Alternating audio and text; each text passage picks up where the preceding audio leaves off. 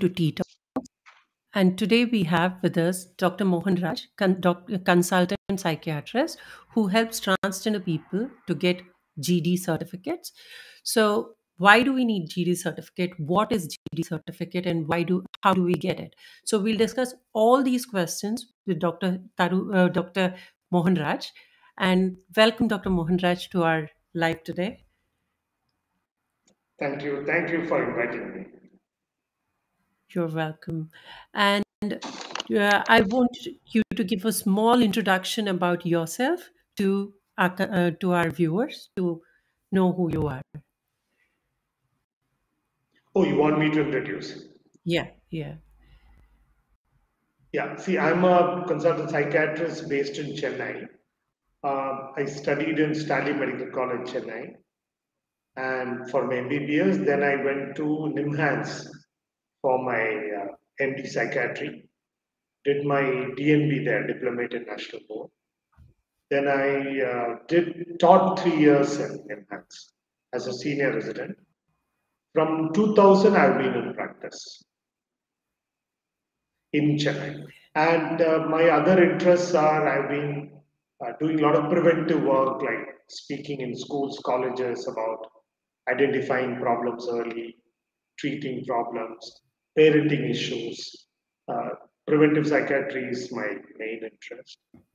Uh, other than psychiatry, I cycle quite a bit. Uh, I'm a cyclist. Uh, I was a mountaineer earlier. That's about it. Nice, nice, really nice. And uh, uh, now coming to uh, transgender people, transgender uh, patients, how did you get into treating transgender pe- uh, people? And, and what kind of support or education or resources did you have while you started treating transgender pe- people? Um, see, I don't remember exactly who, who was the first patient in Chennai, but we have seen transgenders while in NIMHANS, while in training. And here I don't remember whom, but one I remember one of the person was in college and had this issue, wanted to have gender dysphoria, and it was a trans woman later. So it was still a male while he was in the college, and he had confided in one of the professors, and the professor took the trouble of bringing him and facilitating. The professor also talked to his parents. Uh, they were very reluctant, and the professor counseled them, then brought to me, and I spoke to the parents. So this is one of the, I don't know whether it was the first or one of the earlier ones. Uh, then there have been people on and off. I don't know. Uh, we have seen people with transgender issue, gender dysphoria, right from my my, my PG days, postgraduate days. Okay. And what kind of resources, when this patient ends up in your clinic, did you have any resources to help you to guide the patient or what? Because I can imagine it is Uh, quite scary for the medical community. no, resource in terms of, uh, see, psychiatry, we had in NIMHANS, we had good exposure to all issues, sexual orientation issues, sexual identity issues. So we were fairly open and very, very non-judgmental way is what, that's the kind of training that is imparted in. So that is there. Then Indian Psychiatric Society also, as a whole, whole country, we have we have taken certain stand, which is very non-judgmental. Uh, we don't see this as an illness. We don't see sexual orientation as an illness, sexual identity as an illness, rather as a difficulty, rather as a condition which has to be helped if they want. Like orientation, we don't treat unless they have a lot of distress about it. But sexual identity, if it is genuinely a, a sexual identity, gender dysphoria, then if they want to change, we help and facilitate because the law also requires two psychiatrists to give a certificate. See, why the certificate is this is to say it is gender dysphoria and nothing else. Uh, because many times, see, because they will go through hormone therapy and surgery, which are irreversible, both. So since before going to reversible therapy, they need like not only for transgender, even for some uh, plastic surgery for something as like changing their nose size or ear. Sometimes plastic surgeon will want an opinion because there are two conditions, three, four conditions which can mimic. So we need to rule all of them out. So one of them is called body dysmorphophobia. That is, uh, the name might sound a little odd, but uh, where they feel something is wrong with their body in terms of size of their face, nose size, ear size, and they will keep going behind plastic surgeon to have repeated surgery. And sometimes they're not happy, they will say, no, no, give my old nose back. So to avoid these, they will ask for a psychiatric consultation. That's for routine plastic surgery. Here again, it is the irreversible nature of the surgery and the hormonal treatment. It's a safeguard that they want to make sure that it's not the body dysmorphophobia is a psychotic condition where a person has a false fixed belief that something is different about the way he looks or she looks. So that is something which we need to rule out. Then there is a condition called obsessive compulsive disorder where a person can have recurrent thought about something. It can be the theme, can be anything. Theme can be a line from a song, it can be an image, or sometimes can be a doubt, am I a am I really a man? I am I really a woman? So that's another thing we need to rule out. So basically our certificate would say they don't have anything else, they have only gender dysphoria. So basically we are ruling out other things. And the certificate, we also say that uh, they are fully aware of the procedure and the irreversible nature. And they are in their clear mind when they have sought this. That's something which uh, most surgeons or physicians before starting, they will want to know whether the person is fully aware of whatever is going on and they know the consequences of the treatment also. Okay. So, So as far as I psychiatrist is a more yeah, psychiatrist is more like a screening. okay. So, as far as I understand, it's it's more of ruling out other conditions than diagnosis diagnosing someone's gender dysphoria. Yes. Both diagnosing gender dysphoria in the process, ruling out other kind. It's not psychotic disorder, it's not OCD. Okay. And uh, now, how long does it take to get a gender dysphoria certificate or a diagnosis of gender dysphoria? And how often are these sessions? Uh, see, initial session I normally see for half an hour, 45 minutes or so. Uh, that itself is good enough. With there, if the history is very clear, and if it's clearly gender dysphoria, that's enough. But if I'm in a doubt, I might see them one more time, if at all. So one Uh, clinical two examination is good enough. I don't do a psychometry. See, sometimes psychologists can assess you on various parameters. I don't do that. Okay. So uh, it's just one session or max two sessions of Yeah. consultations. Yes. Okay. And how much does this cost a patient if uh, yeah, the It's like my other consultations, like like my routine psychiatric consultation. First consultation I charge two thousand for about half an hour. If it's more, accordingly. And reviews, if at all, there are I charge about thousand two hundred. It's according to time. If it's half an hour, two thousand. Otherwise, thousand two hundred thousand. So it's like any other other consultation which I do.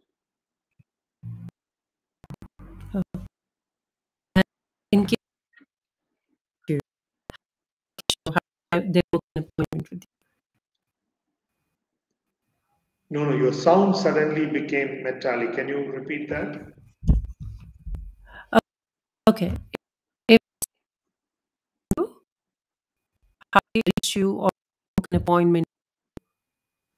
Yeah, uh, they can reach my clinic number. Should I tell my number? Yeah, it's nine Uh, five. no. I can give my number to you and you can Yeah. send it to whoever wants. Yeah, that's my number. Yeah, that's Yeah. the clinic number. Uh, others can see the screen, is it? Okay. They can fix an Yeah, appointment and uh, then they will tell how to go about it. Okay. All right.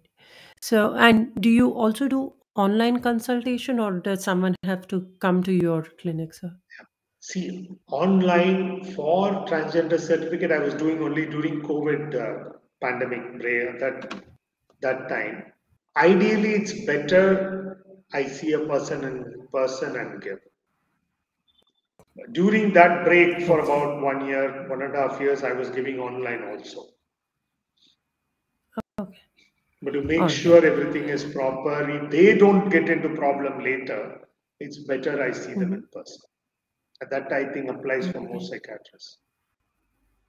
Okay. And what do you usually do, do during these sessions? Is it mo- uh, what kind of questions to expect? And is it more Yeah. diagnostic or more preparing the patient to make an educated decision? More, more diagnostic. First is to, I normally let them tell about their history, like how they felt. When did they first come to know about this? When did they first feel something was different in them? So it will be like any other problem that they narrate their history. And then wherever I have doubts, I clarify. Uh, basically, towards a, di- a diagnostic interview, with also diagnostic interview includes ruling out other diagnoses. Okay. Later, there are sometimes people ask me to help them to uh, convince their parents if parents are not convinced. At that time, I would probably have a second session where the parents come in and I explain to them what this condition is all about. Okay. And is it easy to explain to someone's parents that Very the difficult. child could? Very difficult, but we try. Uh, some parents are already primed by the person themselves. They would have explained, they would have shown them a lot of literature.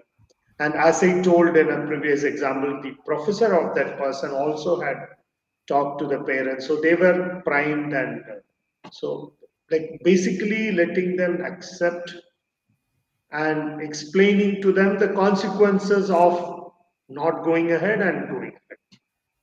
So many parents still have a hang up, they would never accept. Or And sometimes they refuse to come and see also, even if the person is wanting, they might not come. okay.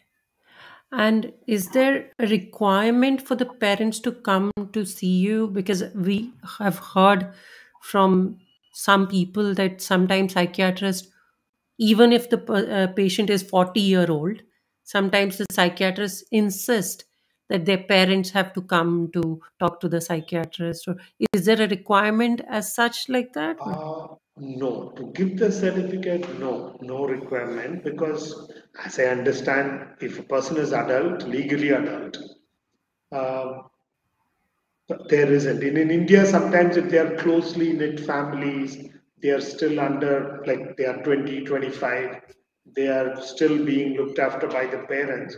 If parents are going to finance them, then they would want to bring their parents. It's not my requirement. I'm not insisting parents should come.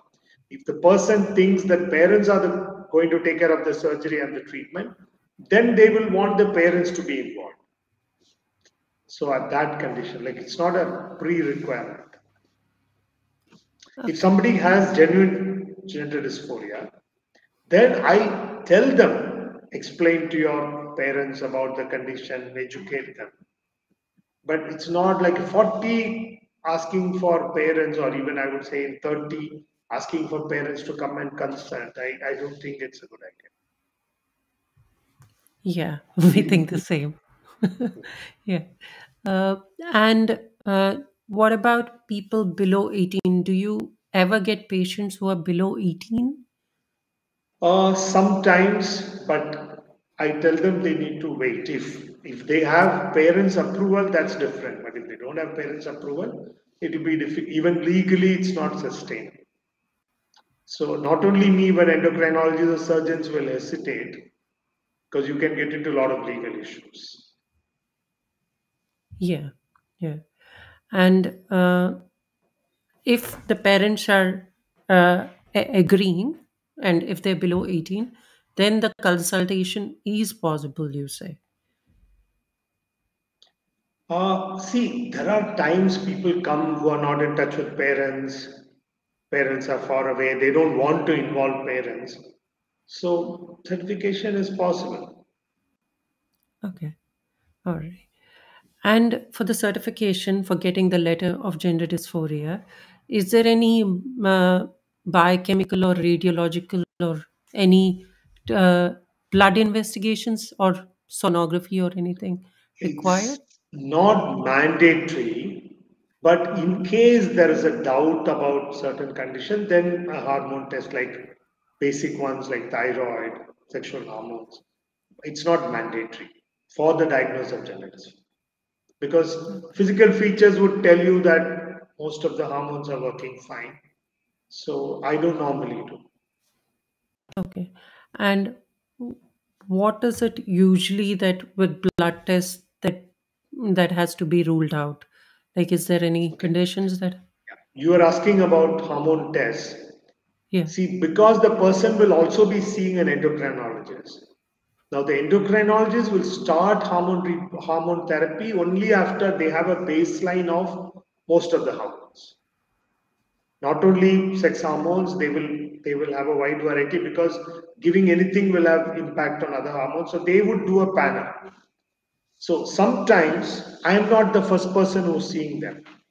They might have approached an endocrinologist, and the endocrinologist would have done the basic workup, and they would say you need to get psych- two psychiatrists to opine, and they would send. So by then, the person knows a lot about the concerned person would have learned a lot about the biochemical and the hormone factors because the endocrinologist would have educated them.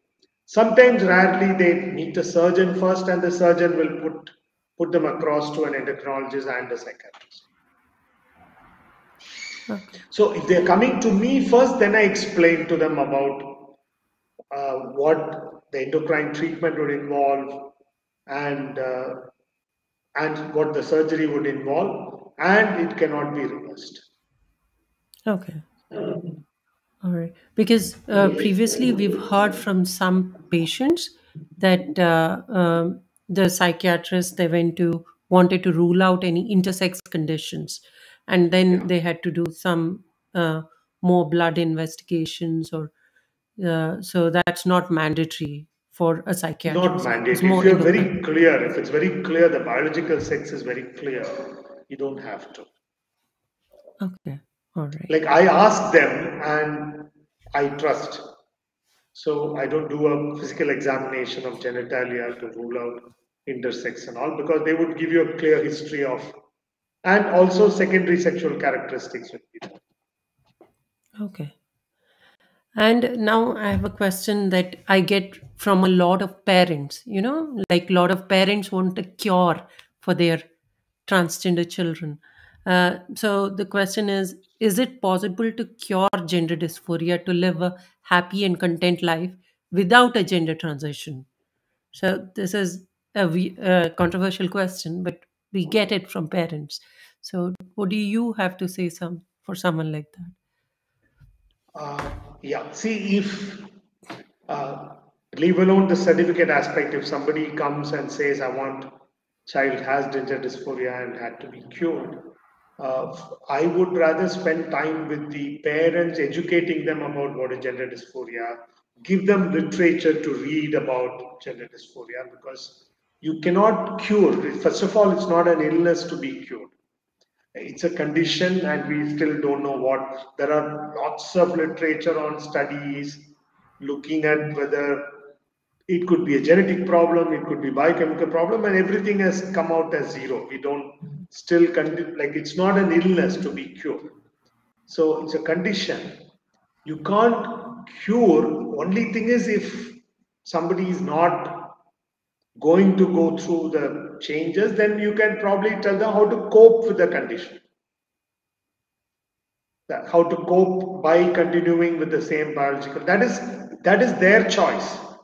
Uh, I, as a psychiatrist, shouldn't say continue if it's a person who is biologically male but is a trans woman. I'm not the one who should be saying cope with being a woman, a male. It's their choice. If they are taking that choice, then you could tell them how to cope with it. But uh, we don't come in and we don't say we can cure because you cannot. It's like I'll draw parallel here. Sometime back, sometime meaning 20, 30 years back, homosexuality was supposed to be treatable, like you can cure or you can do, and it was considered like they people considered it like a delusion, trying to give antipsychotic. People considered it like an obsession, continued to give anti-obsessional drugs. Nothing was giving any kind of benefit. There are behavioral therapies now the official stand world over of psychiatrists is it's not an illness. It's a condition and let them be, where don't interfere. Similarly, here the problem is why we come into the picture in the first place is because the law requires two certificates before treatment is started. Otherwise, there's no role for a psychiatrist there. Yeah. Yeah. Uh, That's what sometimes, yes, sir. Yes. Sometimes uh, we also, because we, this is a question we get repeatedly from parents, we just say the only cure is Uh, to let the no, person live happy. Hello? No, no, I, I'm not able to hear you clearly. Okay. Uh, is it better Can, now, can you sir? also call me? I would probably on the phone. Yeah, yeah, better now, much better. Okay. Yeah. Okay. So is it uh, okay? So what I said was uh, when we get questions like that, we just say, let your child live the life they want. That's the only cure. So, Again, the words went off. Can you also call me on the mobile so yeah, I sure, could sure, get the sound Sure. stream through that? Yeah. Okay.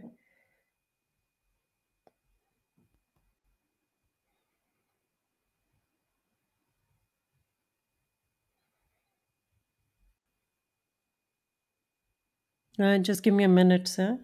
Calling. On the WhatsApp, is it?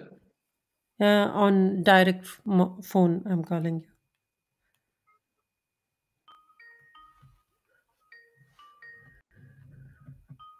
No, no, I, I have not got a call.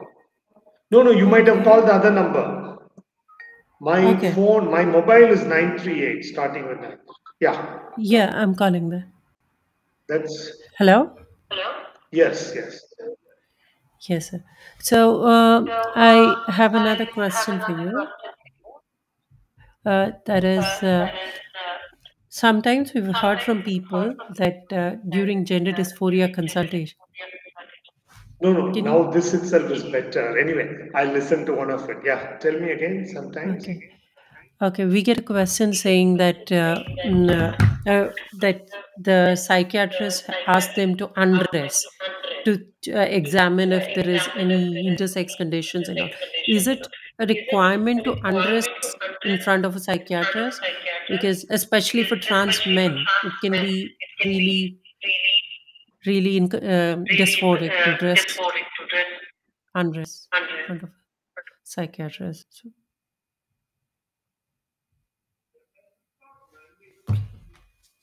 Characteristics are very clear, then you don't have to. So I normally don't, unless there is a specific problem, like they have a genital problem. Otherwise, not really needed. See, an endocrinologist might, because their assessment requires them to also physically examine the genitalia. So endocrinologists might want to do the whole examination. Okay, all right. And during uh, uh, for for a sex change surgery or any genital surgery, we need a second GD certificate, right, from an independent psychiatrist. So Yes. how does that go? How long? Uh, how many sessions do you require for that? And No, second is from a second psychiatrist. Yeah, yeah. So that will also take only one or two sessions, one session and at the most two. Okay. All right. See, if the So, history is very clear and unambiguous, one session is more than enough. okay.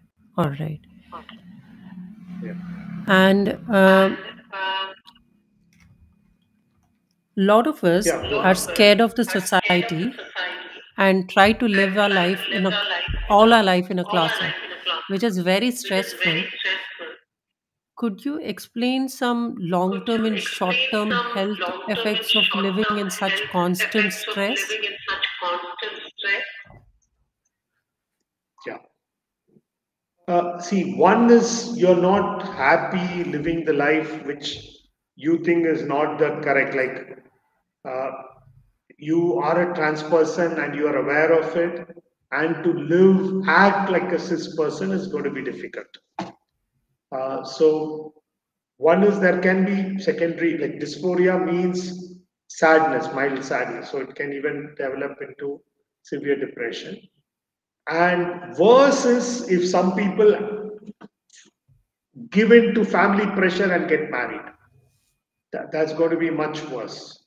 So we see people like that also where they it, it's, it happens with sexual orientation issues also, sexual identity where they can't say no to parents because parents are providing and they get married, it becomes a mess. So living without revealing, living in the closet can be constantly giving you a background problem. Unless you channelize into completely into your profession, something else, it's going to be a nagging problem. Hmm. And does this stress lead to any other physical uh, health problems like diabetes or hypertension? Uh, did you ask me, are they more prone? No, I was saying because living in a constant state of stress, does this also lead to any Oh physical no, health? not no. no. Normally, stress can cause, but not uh, stress due to living inside the closet. No, Oh, that doesn't. There's no study which says that living in the closet increases your risk of diabetes. That doesn't say. okay. All right. It's only the psychological consequences. Okay. And um, No, I can hear this very well. So maybe phone can be off. Come back when uh, I can't hear this properly. okay. All right. Yeah, Thank you, sir. yeah. And a lot of psychiatrists ask for something called as Rorschach test. Do you ask for something like that for gender dysphoria, and why is it related to gender dysphoria? I I don't ask for. See, Rorschach is a inkblot test. Like it will be like a random abstract picture, and the psychologist will ask you to tell you what do you see there and all that. It's an old test, has some utility in some problems, but most often no. I rather believe in a clinical interview where you talk to a person and find out rather than trying to unravel something which they didn't even know and they saw it and it came up. So even leave alone for transgender kind of problem, even for other issues, I don't use Rorschach because sometimes when you not cannot make a diagnosis, not leave alone this. I'm talking about general psychiatric patients. If you can't make a diagnosis clearly, it's too compli- complicated, and you do a Rorschach, even that results will be complicated because what the patient tells you will is what will come up. So you don't need that to make a diagnosis of GD. That my opinion. So I don't use that. And even in any kind of guidelines, it doesn't say you need to do a Rorschach to come to a conclusion. Okay. And is there something called as gender identity assessment scale, and how is it? Uh, no, I, I lost your voice quality. Can, can you pick up the mic maybe nearby? Oh, yeah, sure, and sure, that might sure. help? Uh, so, what is uh, d- is there something called as gender identity assessment scales? Because we've heard it from some psychiatrists, and is it something relevant, and how is it used in GD evaluation? Do you know?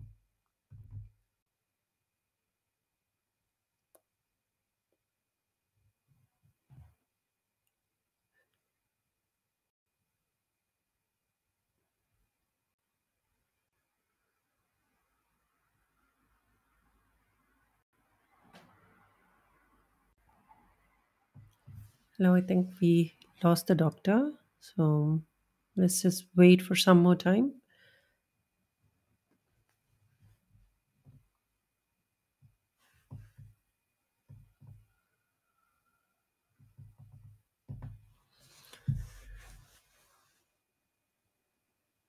Hello?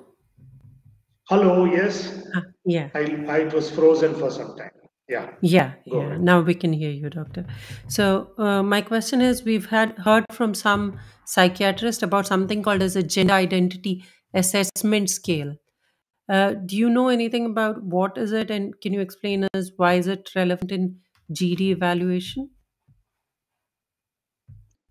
Um, one second. I maybe it's a connection issue. I'll connect through another. Uh, can you hear me? Yes, sir. Hello. Yes, sir. Yes, we, we can hear you.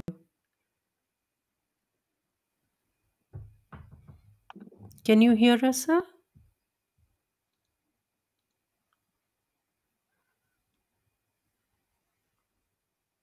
Hello. Hello? Can you hear us, sir? Hello? Hello?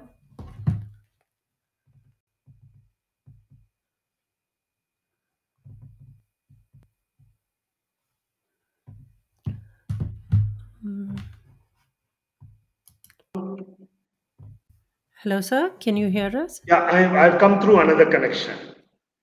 Ah, okay. All right. Yeah, So, better, much uh, better. Yeah. my question was we've heard from some psychiatrists about something called as a gender identity assessment scales. Uh, do you know what it is and how is it relevant in GD? there are assessment scale for practically everything. Standardized scales. Uh, I don't use it. Like for example, OCD has scales to measure, especially like I don't use it routinely in my clinical practice. But if you're doing research with drug therapy or psychotherapy to monitor change, you need to use those scales to have valid results. So in those cases, like for depression, there are scales, assessment scale. Anxiety, there are assessment scale. But then in a clinic, we don't sit with a scale and say, okay, you've got 17 out of 35, so you've got depression. No, I'll rather talk to you and find out whether you have mild, moderate, severe. I'm not going to use a scale.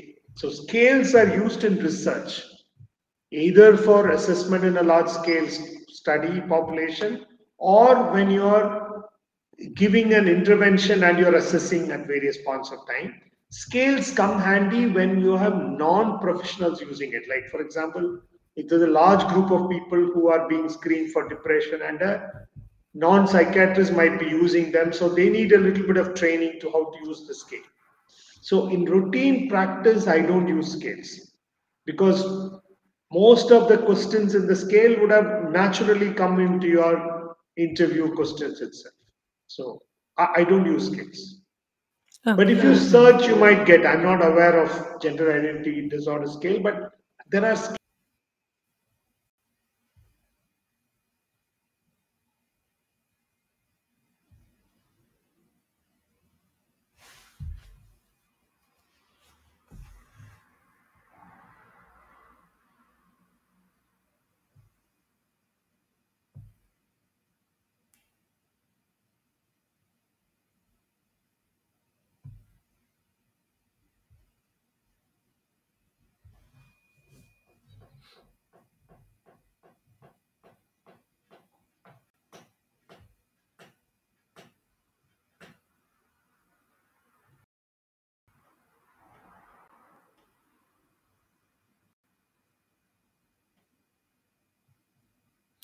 I think we lost the doctor again. Uh, let's see if it uh, if it connects back. And uh, yeah, let's wait for a while.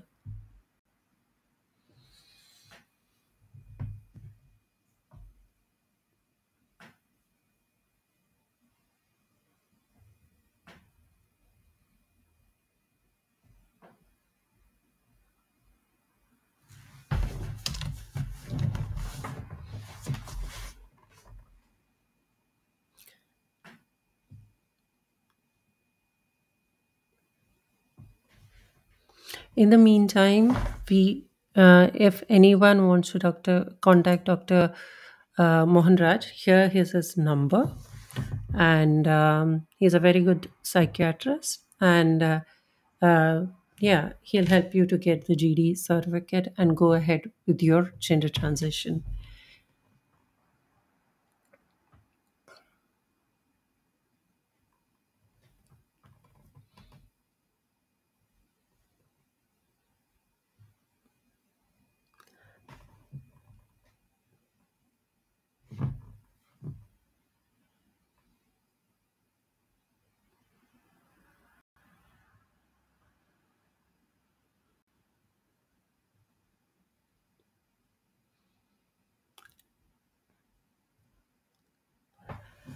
And uh, so, in the meantime, I'll tell you a bit of story about uh, how my GD certification went. So when I came out, uh, and yeah, I finally had wanted to transition. Um, I um, I saw a psychiatrist in in uh, in the place where I lived, and there were many uh, psychiatrists who denied even outrightly seeing me. And they wanted to correct me and all that because this was way earlier in 2006 um, uh, and uh, finally a psychiatrist saw me and uh, he was he was nice. Uh, oh yeah doctor is back. Hi, hi, sorry. hello not a problem doctor. Yeah, yeah, not a problem. good. so uh, in the meantime i'll okay i'll ask you the last question last two questions that we have One is uh, uh, now for a lot of us transgender people, we know we feel this way, but the question is, but why? Why do I feel this way? Is there any compelling scientific hypothesis, or uh, why are certain people born as trans, or is there any neurological underpinnings that makes us feel this way? Do you? Yeah, uh, there is a lot of research that have looked into this. Uh, they haven't found any neurological structural changes, uh, biochemical changes in the brain. They haven't found any hormonal changes. So there were a lot of theories. They've looked into all that. They couldn't find out. So then they have these psychological theories, which again is very difficult to prove, but uh, structurally, neurologically, neurochemical underpinning, something is there. And there are a lot of theories about growth, being brought up, how they are exposed, what kind of toys they're in. But all these are theories which can't be like said this way or that way. Sometimes, like it's that if you grow up with an elder sister and sister's friends, and the boy is exposed to only girls' toys, there's one theory, but I can't really take it as it is. It is there. So for me, it's just a theory. It's not true. So, but uh, biochemically, physiologically, no, they have not found anything. Genetic studies also haven't shown anything Okay. at this point of time. Yeah. Yeah. Okay, that's good to know. And uh, how do you stay informed and up to date with current uh, research and best practices in the field of transgender health? How does you stay up to date? Um, see, one is reading articles, then I'm part of psychiatric groups where people post if there is a research article, something which is groundbreaking, and obviously it'll be posted. Like NIMHANS alumni group is there, other psychiatric groups are there. So anything groundbreaking, not in transgender, anything in mental health, anything new happening, somebody will post an article, a link. Apart from we going to journals looking for articles, this also happens regularly. So that is one. Then we have conferences. CME is continuous medical education where people will be presenting data, new data. So that is another one. Okay. And I have one last question that is uh, in presence of some other mental health co- comorbidities, how does the evaluation of gender dysphoria go ahead? How does it complicate the evaluation? Yeah. See, if they have another comorbid psychiatric problem, it's mandatory we treat it before we think about gender dysphoria.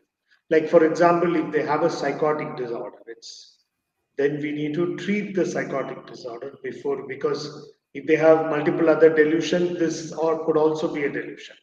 So when there is schizophrenia or delusional disorder as a comorbid condition, obviously we are not going to give a certificate. We need to concentrate on that and treat. Now, if there is severe depression, and if the depression is due to gender dysphoria, then treating depression itself will make things better and they'll have a clear because they're making some major life decisions. And major life decisions have to be taken without too much influence of extreme emotion. So if they're severely depressed, treat depression, then evaluate for gender dysphoria. Okay. And does this OCD also same. increase? If they have OCD, concentrate on the OCD, treat OCD, then evaluate. Okay. And does that increase the timeline that takes for the gender dysphoria evaluation then?